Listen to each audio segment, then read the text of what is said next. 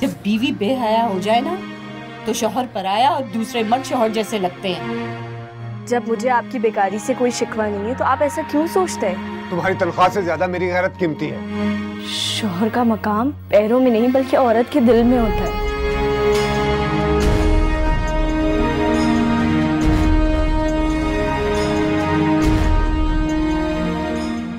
अगर बेटा मुझे इस मनूस मारी की मनुष्यत का पता होता ना तो खुदा की कसम कभी भी इस कलमुही को बहू बना के ना लाती।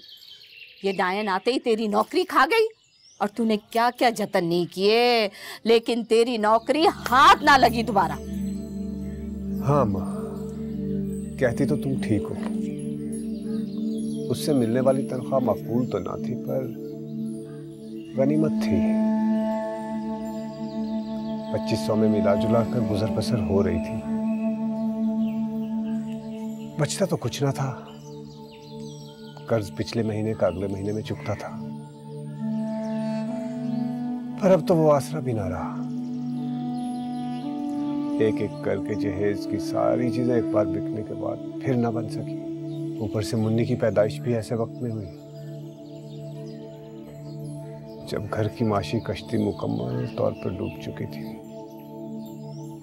सारी मुसीबतों ने एक साथ सर उठा लिया।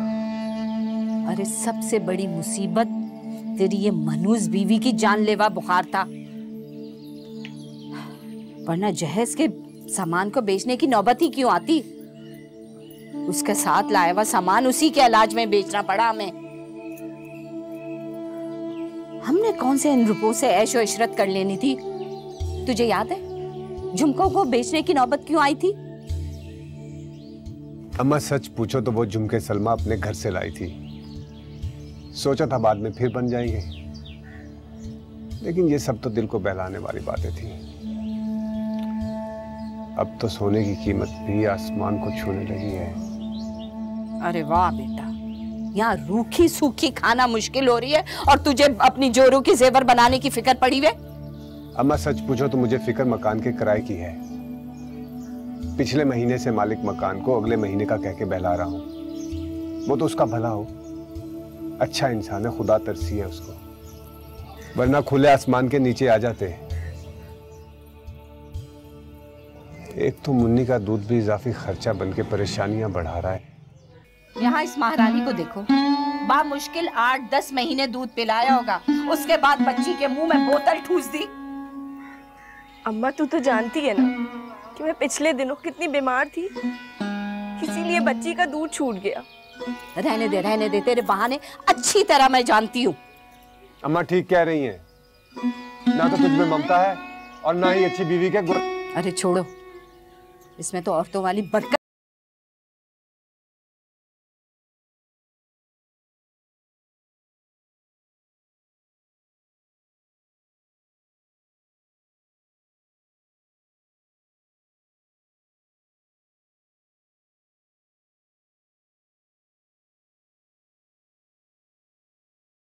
पानी।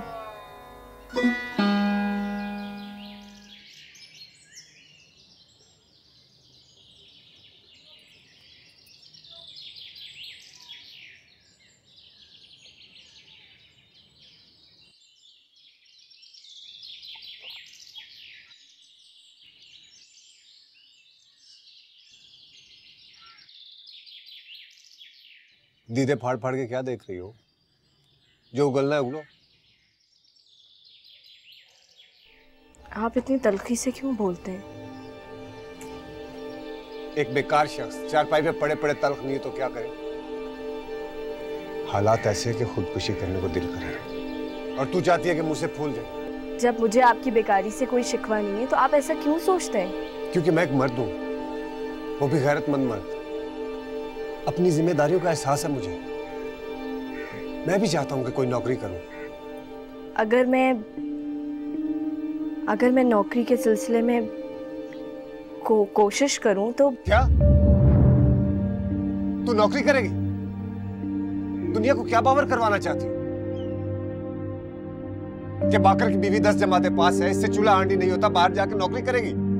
मैं इस वजह से नहीं करना चाहती। घर के हालात हमारे सामने हैं। अगर मैं नौकरी करूँगी तो कम से कम फाकों से तो बच जाएँगे हम। अरे भाड़ में गए तेरे फाके। आखिर किसने तेरे दिमाग में ये नौकरी का बुखार डाला है? वो जमीला खाला की बेटी है ना? वो पास वाले स्कूल में पढ़ाती है। उसी ने ही मुझे बताया कि पहली जमात की उस्तानी के लिए सामी खाली है। किस असामी की बात हो रही है हाँ? अम्मा तेरी बहू नौकरी करना चाहती है। वो भी उस्तानी की समझा इसे? हाय हाय हाय तौबा तौबा। तू नौकरी करेगी वो भी उस्तानी की। मुई उस्तानिया मास्टरों के साथ लगी हुई होती है। स्कूल जाने का तो बहाना होता है। घर में नहीं टिकती तो कुल खिलाने के लिए स्कूल का रुख कर लेती है। अम्मा ऐसा कुछ नहीं है। ये सारी बातें ना जाहिलाना जहन की पैदावार है। और ये उस्ताद और उस्तानी का पेशा तो बहुत मोजिज होता है। बहुत मोजिज पेशे से ताल्लुक रखते हैं। लो भैया अब हम जाहिल लोग हैं कोई ज़रूरत नहीं दलील देने की। अम्मा ने तुझसे ज़्यादा दुनिया देखी है। और तू ये नौकरी करके मेरी मर्दानगी को नीचा दिखाना चाहती है। अरे वो और उल्लू के पट्टे होंगे जो अपनी बीवियों की कमाई खाते हैं। अभी दम है मुझमें। जब मर जाऊँ ना तो जो जी में आए करना। अब तो जेवर भी नहीं रहा बिकने को सब तार तार करके बिक गया। तो क्या मैं अपनी गैरत बेच के खा जाऊँ? रुक ये लेती जा। ये रख ये कौन रखेगा?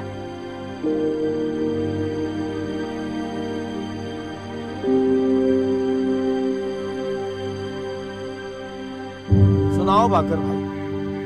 कुछ सुनवाई हुई या अभी भी जूते ही रगड़ लो? तो जूते रगड़ने भी छोड़ दिए हैं। बेकारी में नए जूते खरीदने की सक्कत न रही। तो मुफ़्त में जूते क्यों रगड़ूं? अरे भैया, ये दुनिया गरीब की सुनती कब है? अब तो बस अल्लाह से आस लगाए बैठा हूँ।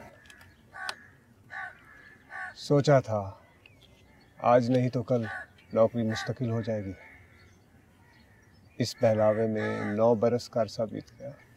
फिर एक दिन जब छांटी किए जाने वाले मुलाजमों में मेरा नाम आया तो मज़ाक समझ के हंसने लगा। ऐसा नोटिस पहले भी कई बार मिल चुका था। लेकिन आखिरी बार मिलने वाला नोटिस सचमुच मुझे निकालने का हतमी ऐलान था। सच में वाकई बहुत बुरा हुआ तेरे साथ। नौ साल का अरसा झूठी उम्मीद पे ज़ाया हो गया। अरे क्या करें शाकर भाई? गरीब की तो पूरी ज़िंदगी आस में गुजर जाती है। सुना है तेरी बीवी बड़ी जीदार औरत है।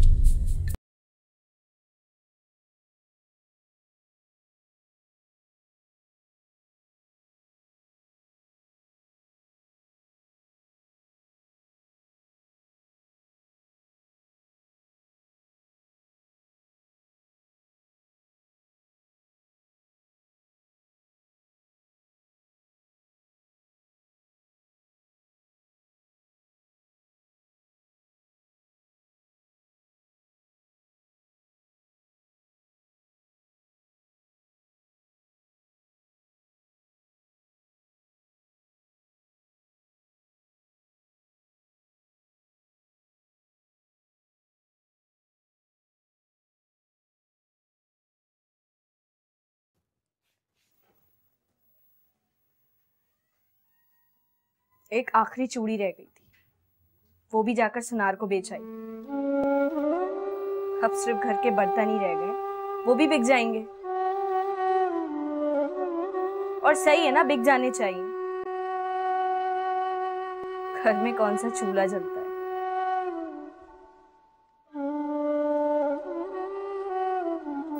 देखो बाकिर, अपनी तो खैर है, लेकिन मुझे सिर्फ़ डर अपनी मुन्नी का है। कहीं ये बेकारी का सांप मुन्नी को ना डस ले। तुम मुझे बेकारी का ताना दे रही हो? मैं सिर्फ़ इतना कह रही हूँ कि झूठी आस से ज़िंदगी नहीं गुजारी जाती। अगर तुम्हें नौकरी मिलनी होती तो कब की मिल जाती ना? आस झूठी हो या सच्ची हो कोई फ़र्क नहीं पड़ता। तुझ जैसी मनहूस बीवी अपने खामद की बर्बादी और नाकामी का सबब बनती है। अरे जब से तुझसे शादी हुई है मेरी तो किस्मत ही अंधी हो गई। ठीक कहती है अम्मा। तुझ में औरतों वाली कोई बरकत है ही नहीं। घर संभाल रही हूँ तुम्हें बाप बना दिया।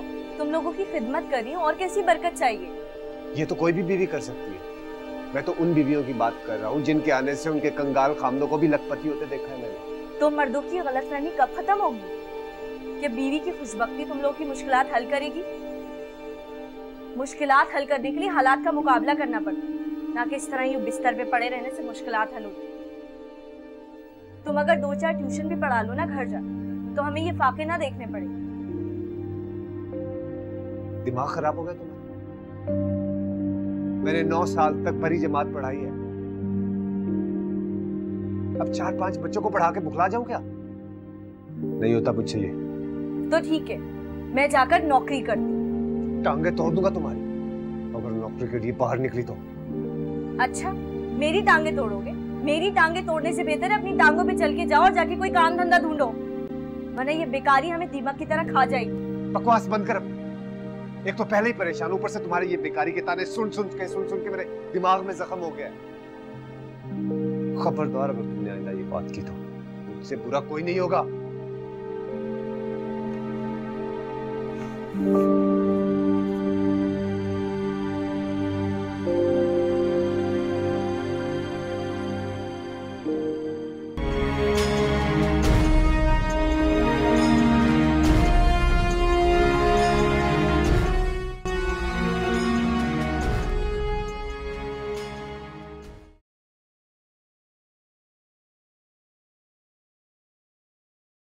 बेटा क्यों खाली पेट में धुआँ भर रहा है? आखिरी सिगरेट था अम्मा अब तो लगता है नसीब में ये धुआँ भी नहीं रहेगा। जानती हूँ कल से कुछ नहीं खाया। घर में अनाज का एक दाना तक नहीं पका है। अब तो यार दोस्त भी देख के मुँह फेर लेते हैं। बेटा तेरी भूख देखकर मेरा कलेजा फटने लगता है। मुझे अपनी फ़िक्र नहीं है। मैं तो अपनी ज़िंदगी गुजार चुकी हूँ। आज नहीं तो कल मर जाना है। ज़रूरी नहीं उसकी वजह भूख हो। लेकिन तेरी बेगैरत बीवी को रत्ती भर तेरी भूख का एहसास नहीं है। दोनों माँ बेटियाँ खा पी रही हैं। शोहर समझती तो एहसास होता ना। जब बीवी बेहया हो जाए ना तो शौहर पराया और दूसरे मर्द शोहर जैसे लगते हैं। बहुत दूर जा चुकी है वो। ना तू वापस ला सकता है उसे और न ही मैं। बेहतर है उसको उसके हाल पे छोड़ दिया जाए। वो नौकरी करना चाहती है ना तो एक क्या दस नौकरी करे। वो जन्म जली शोहर की नाफरमानी करके अपनी आखरत तो जलाएगी लेकिन कमा के तो लाएगी। कम से कम पेट की तो आग बुझेगी। अम्मा तुम्हारा मतलब है कि मैं सलमा को नौकरी करने की इजाज़त दे दूँ? उसे तेरी इजाज़त की ज़रूरत नहीं है। जो उसने ठान लिया है ना वो करेगी कमबख्त मारी। देख लेना।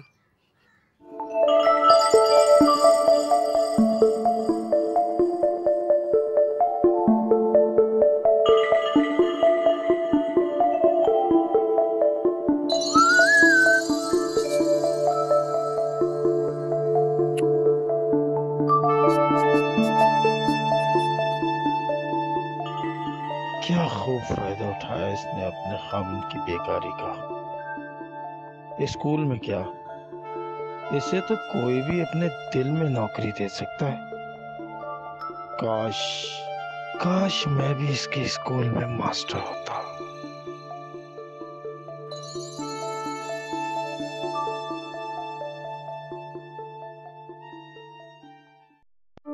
उन्हें भूखी रह गई। अम्मा जी ने अजाने दूध पिलाया कि नहीं। जब से नौकरी करने लगी हूँ, मेरी लाडली का कोई ख्याल नहीं रखता। दादी के प्यार और माँ की ममता में फ़र्क होता है। पहले कपड़े धुलने के लिए जमा किए हैं। धुलने की मोहलत ही नहीं मिली। उनके कपड़े काफ़ी पुराने हो गए। आपकी तनख्वाह मिलेगी? तो दो चार कपड़े मिलने के लिए ले लूँगी। वालेकुम लिस्ट तैयार हो गई? हाँ जी।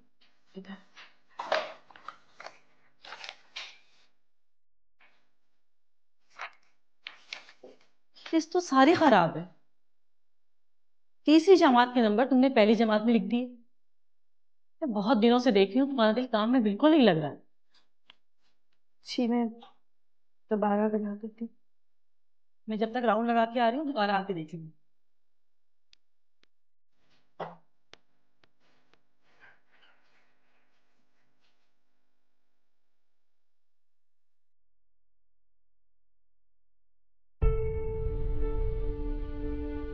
अजीब मुसीबत गले में बन गई है। कितनी मुश्किलों से सुलाया। बच्ची का रो रो के बुरा हाल था। बिल्कुल अपनी माँ पे गई है कमबख्त मारी। अव्वल दर्जे की ढीठ है। मेरे नसीब में तो आराम भी नाम को नहीं है। महारानी सुबह निकलती है और इस मुई को गोद में उठाने की मजदूरी मुझे ही करनी पड़ती है। बाप घोड़े बेचकर सो रहा है। घर में बच्ची को छोड़कर गई है। उस कमबख्त मारी को तो फ़िक्र ही नहीं है। ज़रूर किसी मास्टर के साथ नैन मटक्का कर रही होगी। हाय, मेरा मासूम और बेखबर बेटा। यहाँ चैन की नींद सो रहा है और उसकी बीवी वहाँ किसी के पहलू में बैठ के इश्क के राज और न्याज में मसरूफ होगी। अरे बेटा चारपाई छोड़ और जाके अपनी बीवी की खबर ले। आज तो उसने हद कर दी आवारागर्दी की। अरे मैं पूछू इससे सूरज निकलने के साथ घर से निकलती है। अब सूरज डूबने जा रहा है लेकिन महारानी को घर का रास्ता नज़र नहीं आता। हमारी छोड़ो उसको तो बच्ची की भी फ़िक्र नहीं है। इसीलिए कहता था अम्मा नहीं दूँगा नौकरी की इजाज़त। अब क्या फ़ायदा ये कहने का? जा जाके देख किसी के साथ नैन मटक्का तो नहीं कर रही है? ओह आ गई महारानी पूछती हूँ। तुम्हारे स्कूल का रास्ता इतनी दूर है कि पहुँचते पहुँचते शाम हो गई। कहाँ से आ रही इतनी देर में? जहन्नुम से आ रही। लो भैया हम कौन होते हैं पूछने वाली? कमापूत बीवी है। पेट को टुकड़ा देती है ये। कमाती है जब चाहेगी आएगी जब चाहेगी जाएगी। हम कौन होते? कहने वाले शुक्र करो कि आ गई घर। मैं पूछता हूँ कहाँ लगाई इतनी देर? कमाने गई थी और कहाँ जाऊँगी? कमाई थी बच्ची इतनी शाम तक कमाई हो रही थी। कहो तो कल से नहीं जाती। अरे हर्राका तू कब इसके कहने पे चलती है जो अब चलेगी? देखो सलमा तुम कहने को तो सिर्फ़ नाम की ही मेरी बीवी हो। लेकिन दुनिया की नज़र में मेरी गैरत हो। और अगर मेरी गैरत पर उंगली उठी तो तुझे मैं इस दुनिया से उठा दूँगा। इतनी ही अपनी गैरत और मेरी इज़्ज़त का ख्याल है तो खुद क्यों नहीं कमाते जाके? सारा दिन वहाँ भेजा मारू घर आके गालियाँ सुनू? पड़े पड़े बीड़ियाँ फूकते रहते हो और औरत होके मैं कमाऊं? ऊपर से तुम लोग की बातें भी सुनू? खुद मज़े से ठूस लेते हो माँ बेटे जबान को तो लगाम देना पड़ेगी कमबख्त वाली के। तू बैठा रहे। हाँ भाई बाकर मियाँ।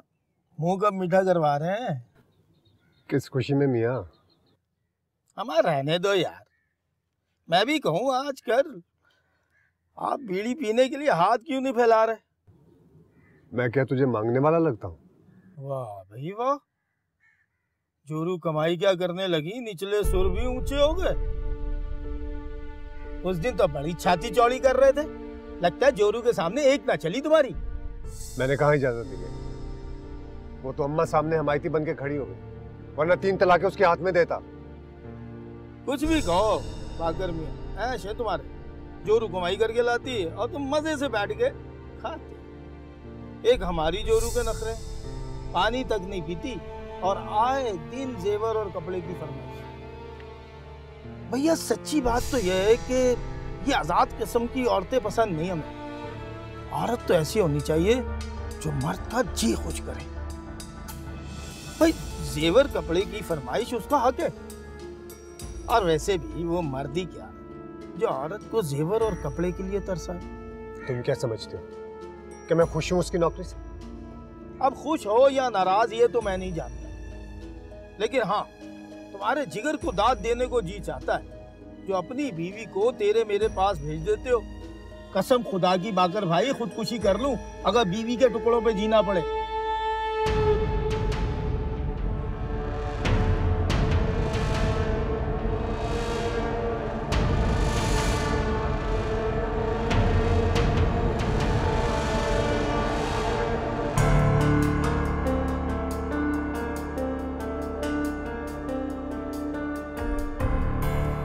कितने कमज़ोर हो रहे फ़िक्र के मारे घोल रहे बेकारी इंसान को बदमिजाज और निकम्मा बनाकर एहसास कमतरी में मुब्तला कर देती है। मैं भी गुस्से में उन्हें खिलाने का ताना देकर बहुत बुरा करती हूँ। कितने दिन हो गए, एक दूसरे से प्यार से नहीं बोले। अब तो मेरी नौकरी के बाद और दूर दूर हो गए।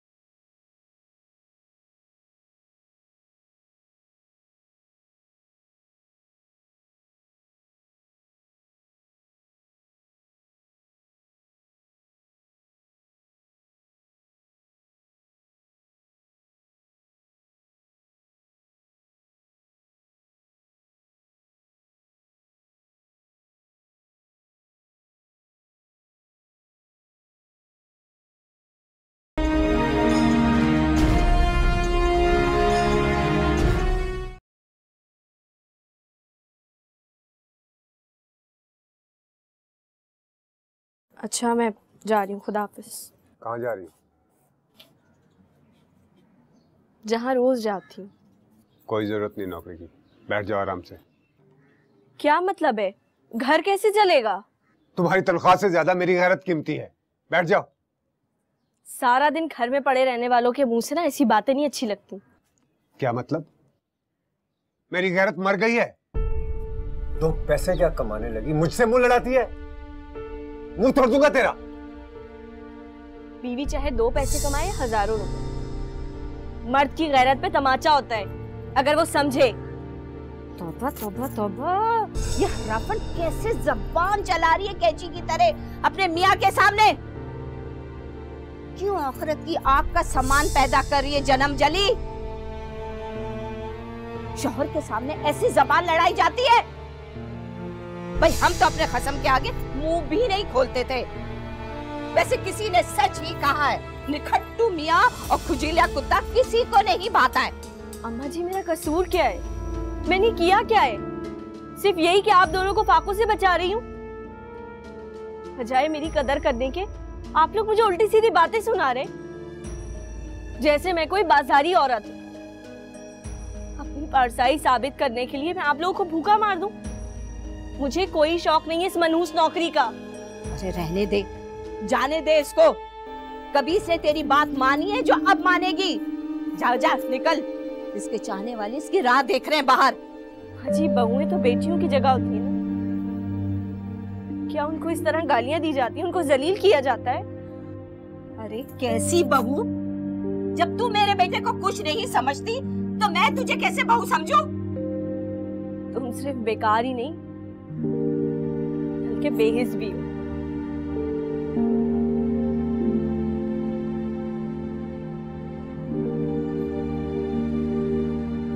जन्म जली। अल्लाह तुझे गर्क कर दे।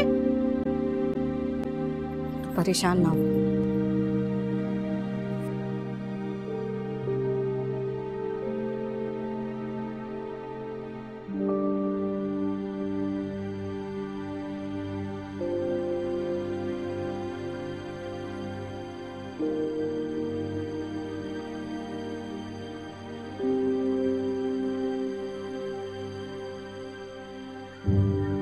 खावन बेकार हो जाए तो बीवियाँ आवारगी पे निकल आती है।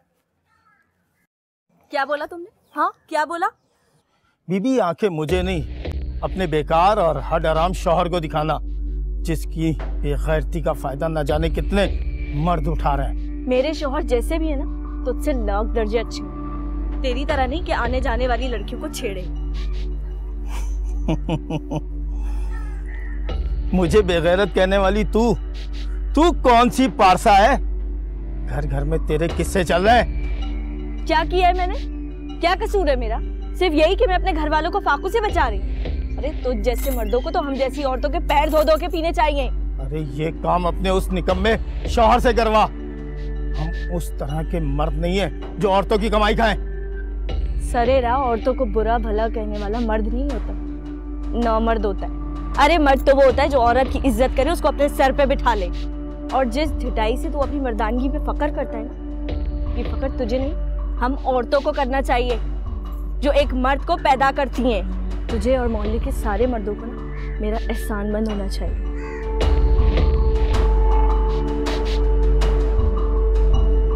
क्या हुआ? बोलती बंद हो गई? अब कहाँ से कोई जवाब होगा? बातें करनी आती है बस।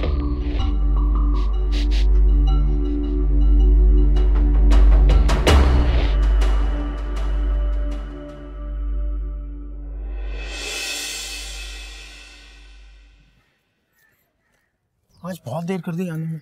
कब से इंतज़ार करो? चलो अब चले कोई देख ना ले। कौन देखिएगा? तुम्हारे शोहर और कौन? मेरा शोहर वो साहब तो खराटे लेकर सो रहे होंगे। चल ठीक है अब चले। हाँ चल।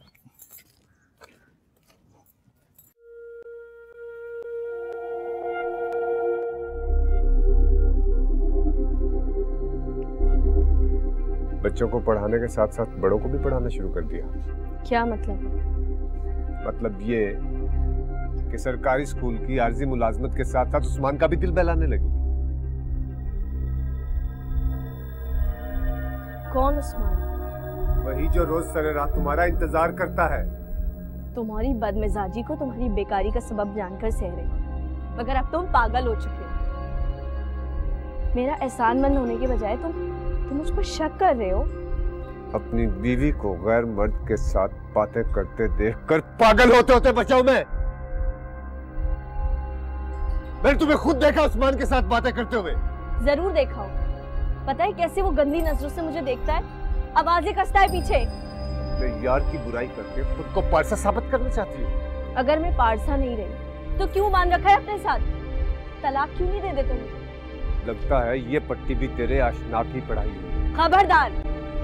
खबरदार जो मेरे किरदार पे शक करने की कोशिश की। औरत अपनी इज़्ज़त और गैरत बचाने के लिए अपना सब कुछ दाव पर लगा देती चाहे उसका सुहाग ही क्यों ना हो।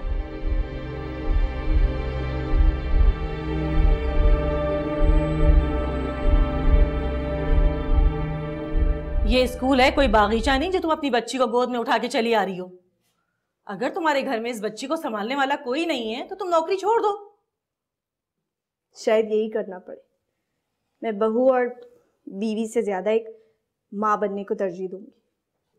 घर के फाकों की वजह से मैं अपनी ममता का गला नहीं घोट सकती।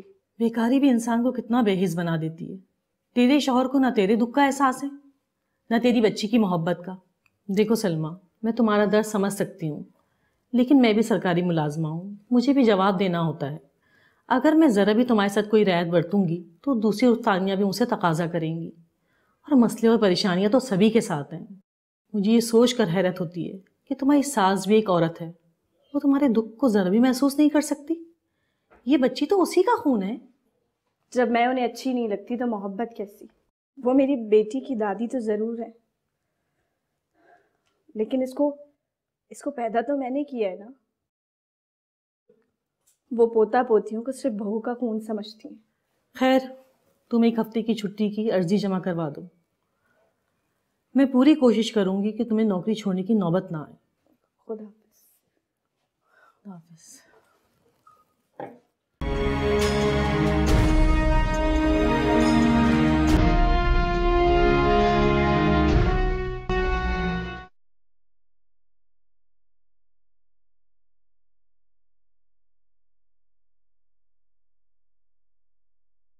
ये तुमने बिल्कुल अच्छा नहीं किया।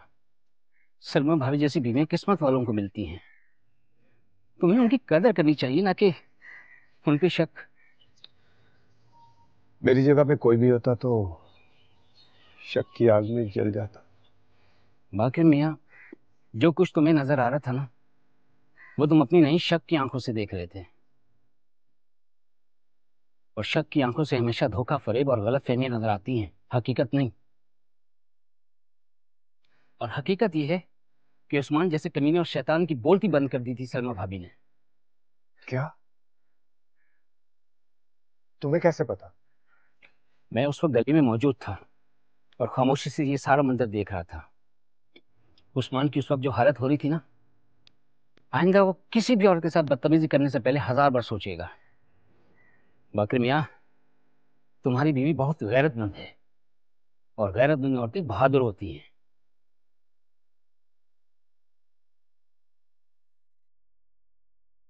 खबरदार जो मेरे किरदार पे शक करने की कोशिश की। औरत अपनी इज़्ज़त और गैरत बचाने के लिए अपना सब कुछ दाव पर लगा देती। चाहे वो उसका सुहाग ही क्यों ना हो।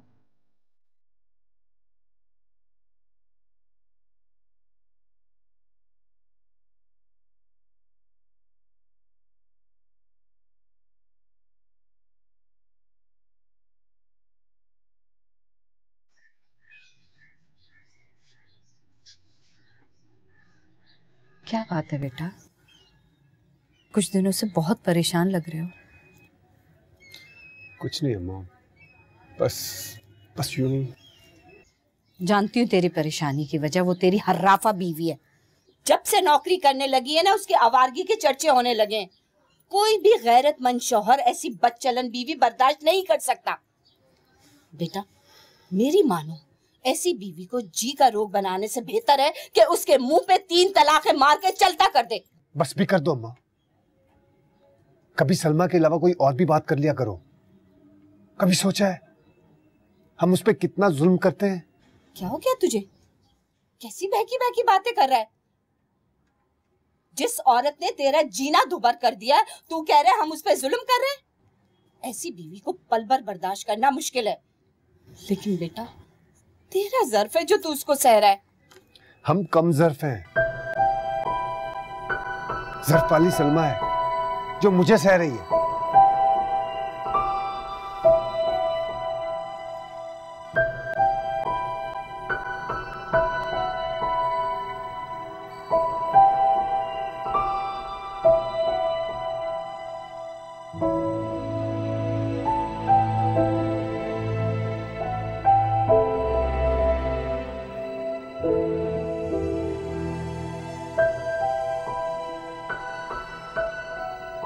क्या हुआ है।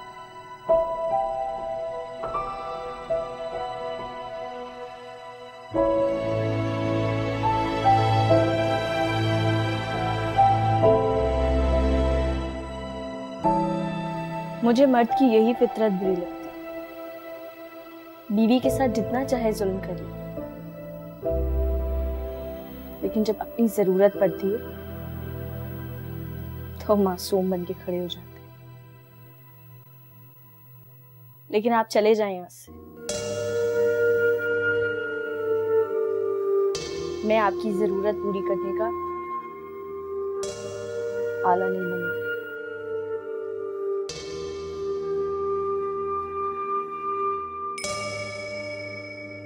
मैं अपनी ज़रूरत पूरी करने के तहत नहीं आया हूँ बल्कि मैं तो तुमसे माफ़ी मांगने के लिए आया हूँ। माफ़ी।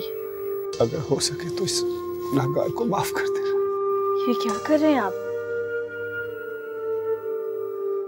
शोहर का मकाम पैरों में नहीं बल्कि औरत के दिल में होता है। और अल्लाह ताला ने अपने बाद अगर सजदा करने के लिए कहा है किसी को तो वो शोहर को कहा है।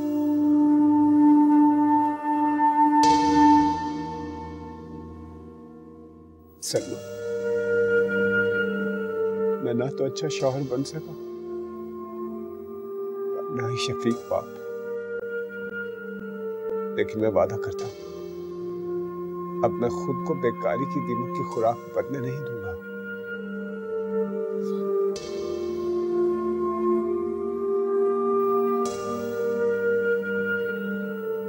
आप परेशान नहीं हो। सब ठीक हो जाएगा।